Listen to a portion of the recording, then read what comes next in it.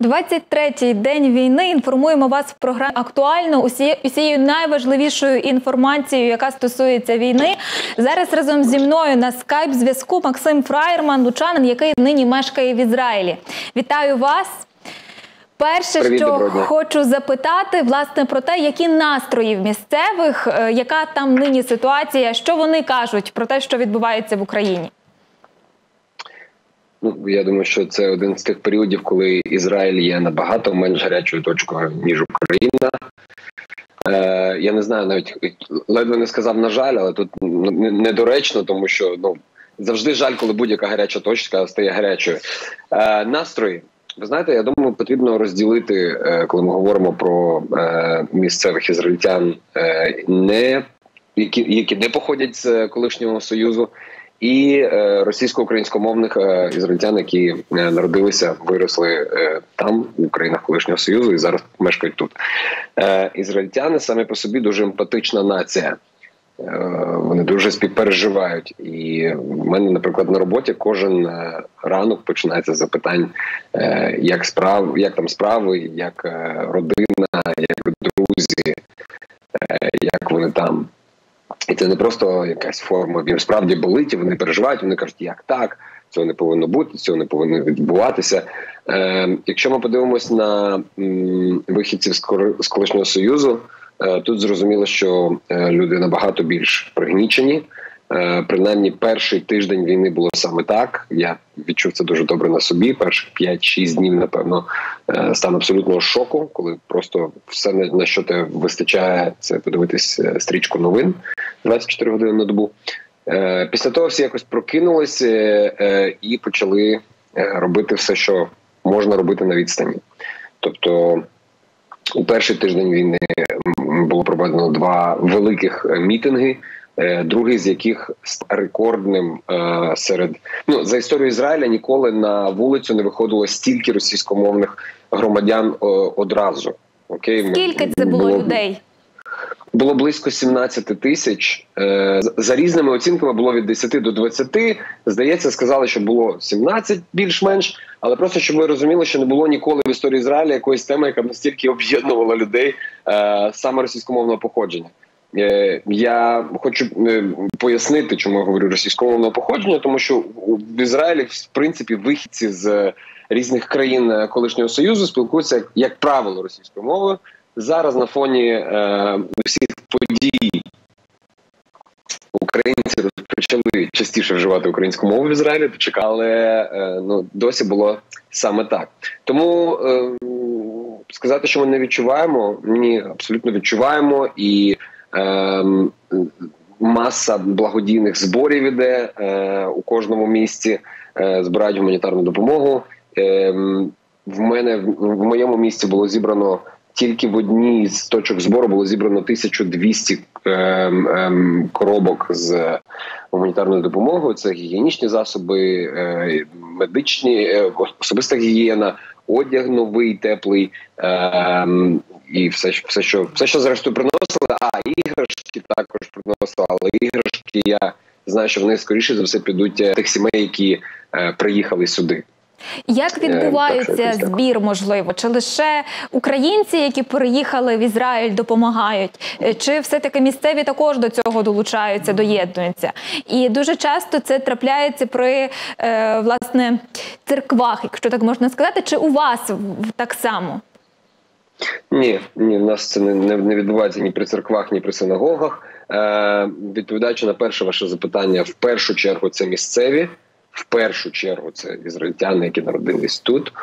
Е, просто тому, що їх по кількості більше, розумієте? Тобто, в принципі, допомагати хочуть усі, і ті, що народились тут, і ті, що не народились тут. Але оскільки перших більше, то ми бачимо їх більше.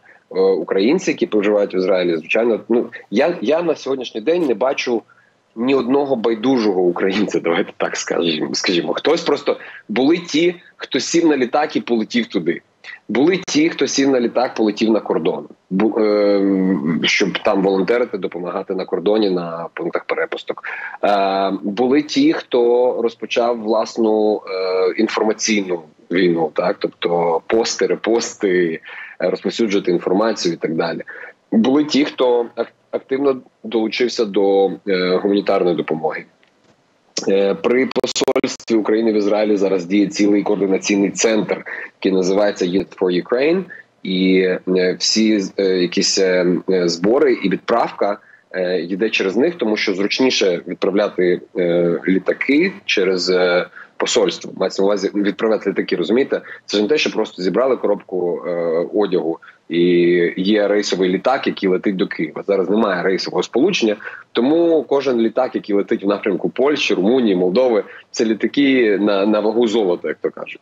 Тому звичайно, що через офіційні якісь канали, через посольство е, е легше е, скоординувати цю роботу, щоб ця допомога потрапляла до хаби, які знаходяться у цих е, сусідніх країнах, і далі розподіляють допомогу. Ось.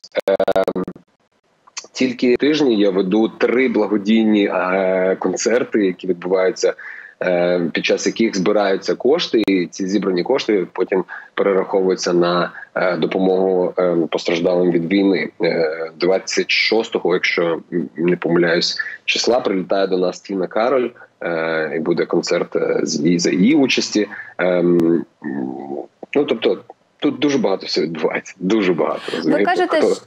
Ви кажете, що досить багато людей, українців, коли дізналися про те, що відбувається, все таки прилетіли чи то до кордону, щоб сюди потрапити, чи ще щось таке. Можливо, і українці, як біженці, також приїхали в Ізраїль. Чи багато таких помічаєте на вулицях?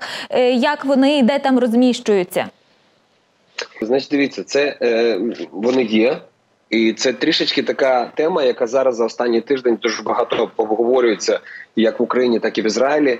І е, на жаль, е, через багато квоти, масової, правильно через масової квоти. Інформа... Через квоти, так тобто багато засобів масової інформації е, вдаються до просто гучних заголовків, не розбираючись ситуації. Я спробую вам за хвилину-дві якби розкласти цю ситуацію по поличках. Ем, на момент початку е, війни е, в Ізраїлі за офіційними даними, я підкреслюю за офіційними даними, е, знаходилось близько 20 тисяч українців е, нелегально. Е, як ви розумієте, офіційні дані зазвичай реальні трішечки більші.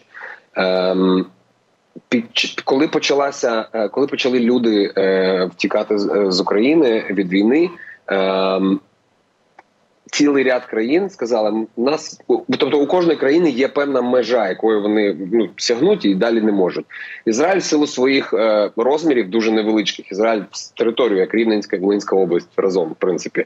Е, Квота в Ізраїля теж була б невелика. Можливо, якби не ті 20 тисяч, що вже знаходились нелегально, можливо, та квота була б більша. Але міністр закордонних е, не закордонних, а внутрішніх справ сказала: ми е, надаємо квоту на 5 тисяч додаткових. Ем, крім того, ті, що до війни знаходились, вони також е, продовження свого знаходження в країні. Ем, тепер дивіться, ем, можна сказати, що в умовах війни потрібно е, просто відкрити е, двері і запускати всіх. Я не знаю, чи це де-факто працює так у, у будь-якій державі. Хоча я бачу, що Польща, наприклад, прийняла зараз майже 2 мільйони людей, і величезна і повага за це. І напевно так буває, коли сусідні держави бувають. Ізраїль, розглядаючи проблему біженців, завжди дивиться на е, те, е, як це як це потім відобразиться, ніби як на на житті ізраїльтян. І в Ізраїлі є невеличка проблема з біженцями в тому сенсі, що декілька років, не декілька років тому, вже добрих, так напевно, років з 10 тому, е, ми мали тут величезну проблему з біженцями з Судану. Е, у південному Судані була війна. Е, сюди пішки з Африки приходили, перетинали кордон з Єгиптом. Суданці отримували тут статуси біженців. Е, і потім е, з тим було дуже багато проблем. Е, я не порівнюю зараз, розумієте? Тобто Україна і Судан це країни з різним рівнем розвитку, різним рівнем рівнем ем, проникнення навіть цивілізації, напевно. Але мені здається, що в ізраїльтян трішечки ще свіжа пам'ять про про ті проблеми, які були з суданськими біженцями, і тому вони зараз дуже дуже обережно наражаються на дуже велику хвилю осудження з боку навіть е, середини країни. Тобто дуже багато людей всередині країни кажуть, так неправильно. Е, і тому розумієте, мені е, цього тижня було трішечки важче розмовляти з багатьма е, друзями в Україні, тому що я розумію, що до вас доходить там, скажімо, 10% причин, пояснень чи інформації, яка справді може допомогти розкрити якось очі на картину того, що відбувається. Я і дуже багато інших людей, які тут мешкають, не у всьому. Е, згодні з політикою і і, і риторикою місцевих місцевої влади. Але разом з тим я можу зазначити ще одне: Е, як українець, я обурююсь. Як ізраїльтянин, я розумію багато причин, які не розуміють е, українці в Україні. Е, Наприклад, е, дуже багато було е, заголовків у ЗМІ про те, що Ізраїль, нібито найкращий друг Росії, що він не засудив нічого, що вони проти нас і так далі. Це неправда. І це е, підтверджувалось багато разів на офіційних рівнях. Але потрібно ну це випливає на... ця інформація з того, що зброю, наприклад, Ізраїль не передає Україні, так само до західних так. санкцій не зовсім приєднується. І власне через так. це такі, якщо є гучні заголовки, то люди одразу угу. вірять їм і впевнені, що саме так і є. Але у цих заголовках немає два дуже важливих моменти, які людям не пояснюють. А ці моменти вони дуже дуже важливі. Перший момент полягає в тому, що е, роблячи будь-які публічні заяви, Ізраїль змушений і зобов'язаний завжди е, е, думати про стан єврейської громади за межами Ізраїлю. Як ви розумієте, у Росії зараз проживає в тому числі дуже багато євреїв, і будь-яка різка заява Ізраїля офіційного так може призвести до того, що єврейську громаду будь-якого окремо взятого російського міста можуть проголосити іноземним агентом поза законом, розгорнути проти них будь-які переслідування і так далі. Тому подібне. Ізраїль завжди. Е- Обережно робив кроки у воєнний час, тому що завжди розумів, що будь-який необережний крок може відобразитися на е, становище євреїв за межами Ізраїлю. І з одного боку, напевно, це правильно. Ну думати про своїх дуже сильно. Е, тобто, це перший момент. Другий момент, який не пояснюють українцям, полягає в тому, що е, одним з наших північних сусідів є Сирія і. Повітряний простір Сирії цілком та повністю контролюється російською авіацією. І знову ж таки, будь-які будь-які різкі заяви Ізраїлю е, стосовно Росії можуть е, е, якби на, напруження створити на півден на північних кордонах. А справа в тому, що в Ізраїля і без Росії є напруження на всіх практично кордонах. Тобто, у нас є такі собі е, середньої роки мир з Йорданією та Єгиптом. Зрештою, ми в стані війни постійно. Але от бачите, я навпаки думала, що якщо е, говорити про Ізраїль, якщо він має досвід подібний із Сирією, де все таки росіяни все контролюють, то вони я думаю, так багато українців були переконані, що вони дуже зрозуміють ситуацію, яка в Україні, і от будуть там всіляко і усім допомагати. Але тут вже той інший нюанс, про який кажете ви, що все-таки будь-що що скажуть, може негативно е, там на їхній цілісності, на е, цілісності Ізраїлю е, власне відбитися. Не стільки на цілі, тобто тут дуже важливий момент, який я вам сказав про єврейську громаду у Росії. Він дуже важливий. Повірте мені, для ізраїльтян, для міністерства він дуже важливий. Вони не хочуть допустити будь-яких е, переслідувань е, євреїв у Росії і так далі. Тому подібне. Ем, чи ці заяви загрожують яким чином цілісності Ізраїля як держави зсередини? Ні, не думаю. Я не думаю. І відповідаючи на ваш коментар є різниця між розуміти ситуацію, допомагати і на міжнародній політичній арені робити різкі вислови. Чи розуміє Ізраїль ситуацію? Знову ж таки, є неофіційний Ізраїль. Правильно, тобто я зараз е, висловлюю е, позицію пересічного громадянина країни. Чи розуміє Ізраїль ситуацію? Прекрасно розуміє. Чи розуміє Ізраїль, де чорне, де біле? На мій погляд, прекрасно розуміє. Е, чи допомогти? Так, намагається Е, наступного тижня біля Львова роз, розгор, е, збирається розгорнути військовий госпіталь. І наскільки мені відомо, Ізраїль перша держава, яка це зробила в Україні зараз після початку війни. І він буде там діяти три місяці. І це люди, які їдуть туди, волонтери, які так само будуть і навіть лікарі життя. з Ізраїлю приїхали до Луцька працювати в нашому місцевому госпіталі. Так само ми дуже вдячні всім медикам, які е, відгукнулися і приїхали до нас в Україну. То так. дійсно таку поміч ми відчуваємо. Тобто, розумієте, давайте завжди розуміти різницю між розуміти, допомагати і робити гучні заяви. Тобто, робота політиків робити гучні заяви. На даний момент наші політики цих гучних заяв, таких які нам хочеться, не роблять. Чи розуміємо ми чому? Розуміємо. Чи впливає це на картину? Не знаю, вам вирішувати. Гаразд, е, з тим розібралися. Ще єдине, що хочу перепитати стосовно біженців. Ви кажете, що там все-таки квота, нібито 5 тисяч місць. Чи можна зараз українцям прилітати в Ізраїль, чи вже ні? Можливо, ви щось знаєте про це. Е, я вам скажу, е, коли мова йде про українців, які мають е, родичів в першої ступені тут в Ізраїлі, тобто батько, син, діти, брат, сестра, чоловік, дружина, ось таке. То так вони не входять в цю квоту, не входять ті люди, які або мають право на репатріацію, мають право стати громадянами Ізраїля за єврейським походженням. Вони не входять в цю квоту. Тому у нас зараз є ніби як декілька потоків. І квоту в 5 тисяч ми говоримо про тих біженців, які не підходять ні під одну з е, інших категорій. А інші категорії це людина, яка може стати громадянином громадянином Ізраїля за єврейським походженням. Це людина, яка може приїхати до родичів першого ступеня, тобто з сім'єю е, воз'єднатися, так би мовити. І е, тобто, всі, всі, хто не проходять у ці категорії, вони потрапляють у цю квоту за різними повідомленнями є повідомлення, що ця квота ніби як вже вичерпана. Я не знаю, чесно. Я не буду стверджувати, що це надійна, ненадійна інформація, але кажуть, що ще в перший тиждень е, ця квота була вичерпана. Якщо чесно, мені здається, що під тиском е, і громадськості, і змі, і всіх е, обставин. Мені здається, що ця квота зрештою буде піднята, але я я не можу е, якимось чином підтвердити це офіційно, так тобто. Ем, я знаю, що на сьогоднішній на а до речі, ще один заголовок, який був е, в українських змі про відміну безвізу. Це також таке жонглювання фактами трішечки, тому що так на даний момент потрібно е, заповнити спеціальний спеціальну бумагу онлайн там е, перед тим як е, взагалі сідати у літак і отримати дозвіл. Але це не є по факту е, відміна безвізу. Розумієте, що таке безвіз? Давайте розберемося, що таке безвіз. Безвіз це коли людина е, прилітає у туристичний з туристичною метою в іншу державу е, поподорожувати. Правильно чи можна українців, які зараз перетинають кордон Ізраїлю, називати туристами? Ну зрозуміло, що ні.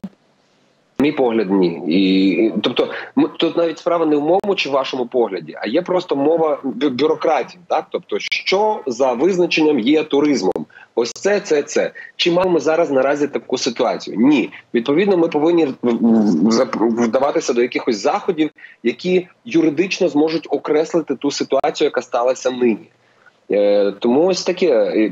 Ну мені мені здається, що просто зараз будь-яка інформація, яка надходить, потрібно давати їй день-два визріти, тому що е, всі фейки, які дуже емоційні, вони вони як швидко з'являються та касають. Е, і тільки коли інформація проходить підтвердження у декількох там джерелах, потім вже є якийсь там більш аналіз цієї ситуації. Тоді ти розумієш, що це не фейк, то можна якось вже спокійніше до того дивитись. Тобто інформаційна гігієна вона зараз дуже дуже дуже важлива. І я розумію, що е, зараз е, в умовах війни вона їй дуже важко дотримуватися з будь-якої сторони з будь-якої. Тобто, якщо ми говоримо про те, що е, немає якихось фейків з української сторони, на жаль, це не так, але такий воєнний час. Гаразд, хочу з вами ще поговорити трішки про інше, е, про те, як Ізраїль в принципі живе, тому що всі нині зараз дуже часто кажуть, що нам потрібно е, жити як Ізраїль. От він е, в часі війни постійно звикати до обстрілів і далі продовжувати працювати, працювати, працювати і підтримувати економіку. Чи дійсно у вас, як і у нас, часто звучать сирени? Чи дійсно ви так само ходите в укриття? Як це все відбувається? Поясніть, будь ласка, роз'ясніть нам. Якщо пам'ятаєте, останній такий останній такий е, період був е, навесні 2021 року. Це був квітень, травень, якщо не помиляюсь. Мені здається, це якраз також був один з останніх разів, коли виходив на зв'язок з українськими змі і давав е, оцінку ситуації, але вже на нашої ситуації. Тобто у цій самій кімнаті сидів і чекав, поки сирена буде. Е, так, Ізраїль навчений жити у стані війни. На жаль, є ряд відмінностей. Е, багато українців скажуть, є системи протиракетної оборони, е, е, залізний купол, і це правда. Але не всі розуміють, що, наприклад, у тих умовах, у яких зараз знаходиться Україна, при тих видах озброєння і ракет, якими стріляють зараз по Україні, залізний купол не допоміг би. Окей, тому що він відстрілює трішечки інші типи ракет, але це зараз не настільки навіть важливо. Важливо те, що е, причина, по якій е, Ізраїль має залізний купол, вона не тому, що е, прийшов якийсь е, е, багатий родич, придбав і сказав: ось дарую. Причина, по якій ми маємо залізний купол, вона е, дуже проста. Ми платимо скажені податки. Ми платимо скажені податки, ну, якась певна частина яких йде на оборонні потреби. І в принципі, е, кожен вистріл, кожен постріл е, залізного куполу він коштує приблизно біля 50 тисяч доларів, наскільки мені відомо, один залп. І це 50 тисяч доларів, які платять з наших податків. Тому е, дуже вірно, дуже вірна та позиція, що навіть у воєнний час.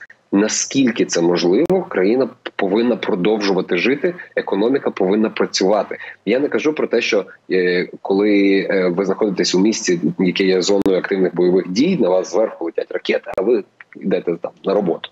Ні, це трішечки не так працює, але Україна слава Богу, дуже велика країна. Є зараз, які на даний момент не є зоною активних бойових дій, і тому всі ці заклики до того, що бізнес, економік, економіка працюйте, будь ласка, тому що інакше ну, інакше не вижити. Вони дуже правдиві. Мені здається. Мені здається, що саме так і потрібно. І якщо коли ви говорите, потрібно жити так, як Ізраїль, мається на увазі це, то так потрібно жити так, як Ізраїль. У якихось інших відношеннях можливо не потрібно жити так, як Ізраїль, виключно але в цьому в цьому сенсі так у нас е, раз на декілька років є дуже активні загострення то на півдні, то на півночі, то ще хтось хоче нас знищити, вбити. Е, І тому ми якось за 73 роки звикли, що ну окей, не можна ж просто не виходити з і казати, Боже, що ж тепер робити? Ну ми би просто вже давним-давно сіли би і всі полетіли звідси. Але ні, залишаємось тут і і залишимось е, поки що як держава. Е, мені Я особисто мені зараз важко в тому плані, що я не ну я я не знаю, де я зараз хочу більше знаходитися. Напевно, як, якби не е, от, е, громадянська дружина, напевно, у перші дні, е, коли був найбільший стрес, мені здається, що я б вже напевно в літак і вже був би в Україні, тому що дуже важко знаходити. А знаєте, я вам скажу дуже цікаву річ коли ми у травні сиділи під обстрілами, мені особисто навіть в половину не було так страшно, як бути тут в той момент, коли там відбувається в Україні, відбувається те, що зараз відбувається, і коли що ти безсилий, ти не можеш нічим допомогти.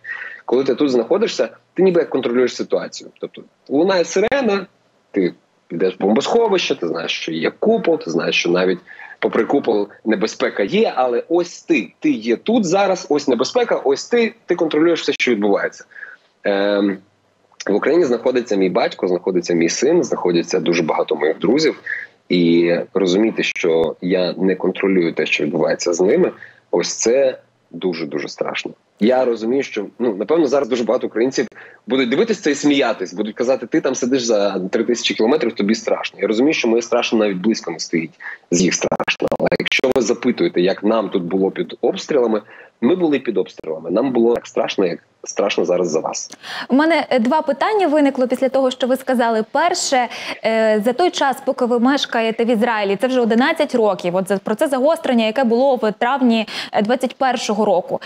Е, чи потрапляли все таки ракети в цивільні об'єкти? Чи була така ситуація, як впевнена, що така, як в Маріуполі, не була, але хоча б подібна з якимись населеними пунктами? Е, Так, ви праві такої ситуації, як в Маріуполі, не було, тому що наскільки я от сьогодні читав, що в Маріуполі ледве не 80 чи 90% житлового фонду знищено. Ні, це просто це це трагедія абсолютно якогось фантастичного рівня. Е, В нас е, ну якщо говорити про загострення зараз на рік тому, то таким містом у нас став Ашкелон. Це місто на півдні Ізраїля, на яке е, звісно його й обстрілювали зрештою більше більш за все. Тобто стріляли і по інших містах півдня, але от Ашкелон було найбільше. Чи були жертви е, серед цивільного населення? Так були. Е, Слава Богу, це були не сотні, не тисячі людей, але жертви були. Тобто був епізод, коли е, було пряме попадання ракети у захищену кімнату в будинку. Тобто, тут же ж. Зараз, коли новобудови будують, неважливо на якому поверсі, кожна квартира повинна мати е, те, що називається мамад на на івриті. Це захищена така кімната з потовщеними стінами. Там вони чи сталеві, чи щось таке. Ну якось це робиться.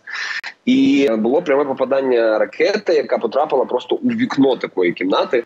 Е, і загинула шестирічна дитина, і загинула е, нянечка. Її здається, щось таке. Ось е, потім у місті, де я живу, яке не на півдні на секундочку, взагалі е, було пряме попадання потрапляння ракети у автобус, і ми всі тут дякуємо просто водієві і Богу, і я не знаю кому за те, що просто. Вчасно е, було евакуйовано людей з автобуса, тому що ну у нас, коли е, йде якийсь е, обстріл з гази, у нас вмикається сирена. З моменту, коли вмикається сирена, у нас є півтори хвилини. Не у всього Ізраїлю є півтори хвилини. У нашого міста є півтори хвилини, тому що далі у міста Здерот, наприклад, є 15 секунд. 15 секунд на те, щоб добігти до мовбосховища. Інакше ніхто не знає, що може з тобою трапитись. Так, от у нас є півтори хвилини. І коли ракета потрапила у автобус, це було просто уявіть собі, оці півтори хвилини, приблизно там 30 секунд потрібно на те, щоб автобус зупинити. Ще там якихось 30 хвилин 30 секунд потрібно на те, щоб е, усіх людей звідти вивести. І ось після того, як люди звідти вийшли, ракета потрапляє у, у автобус, е, він е, вибухає, загорається. Все але знову ж таки тут йдеться про те, що до сирени всі ставляться дуже серйозно. Знають, що є півтори хвилини. Всі навіть з автобуса, який кудись прямував, вийшли, сховалися, і немає такого, що звучить сирена. А ми ще трошечки почекаємо, бо ми там не на півдні, чи не на чи ми, наприклад, на сході чи на заході. Значить, дивіться, е, з одного боку, е, люди всюди люди. Якщо я вам скажу, що всі ізраїльтяни так серйозно ставляться до сирени, звичайно ж ні. Є люди, які там е, кажуть, а нічого не буде. Є люди, які літні, їм дуже важко в них високий поверх. Але повинен бути збережений якийсь мінімальний інстинкт самозбереження. Якщо ти не хочеш спускатися у бомбосховище, вийди хоча б на на сходи. Ну тобто вони вже вони більш захищені ніж зовнішні стіни. І коли я пам'ятаю, у нас було якось е, сім чи вісім е, повітряних тривог за ніч, то після там другої чи третьої, коли ти приходиш, роздягаєшся, лягаєш, засинаєш, починає вийти, встаєш, одягаєшся, а іноді вже навіть не роздягаєшся, просто в піжамці, як я зараз розумієте. Так, от е, після там другої, третьої сирени я можу зрозуміти почуття людей, які хочуть спати, вони знервовані, змучені, але принаймні на сходи вони виходять. Ну тому що не робити навіть цього, це ну вже зовсім якось е, недбало ставитись до власного життя. Е, Ізраїль так навчений дуже багатьма обстрілами, дуже багатьма поганими досвідами. Чому про це потрібно думати? Я, до речі, вчора ввечері майже годину телефоном е, ледве не сварився з власним батьком, якого запитував: е, виходиш? Він раніше мені казав, виходжу, а зараз каже мені, та вже ні. Я йому кажу: ну слухай, ну серйозно. Якщо в принципі говорити про ваших близьких, де вони зараз? Чи вони в безпеці? Е, Я думаю, настільки ж наскільки ви, ну тобто, мій син знаходиться в Луцьку. Він Е, призовного віку. Він студент, тому він знаходиться, наскільки я розумію, у четвертій хвилі мобілізації. Тобто зараз оголосили, нібито про другу. Він знаходиться у четвертій. Е, батько мій знаходиться в рівному. Е, більшість друзів також ну залишились. Є друзі, є друзі, які поїхали за кордон.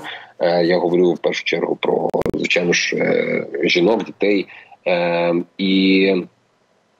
Е, я за тиждень до того, як е, почалося все, я пам'ятаю, що я телефонував до сина і казав йому: скажи, ти хочеш, щоб я е, купив тобі квиток і, можливо, почекаєш? Ну тому що є якась напруга, і хто його знає, що буде, і може хочеш почекати, посидіти. Я вам хочу сказати, що я ніколи в житті не відчував такої гордості за свого сина, тому що він відповів мені: тато, ти нормальний, у мене тут мама мене тут бабуся, а я 19-літній мужик сів такий кудись полетів.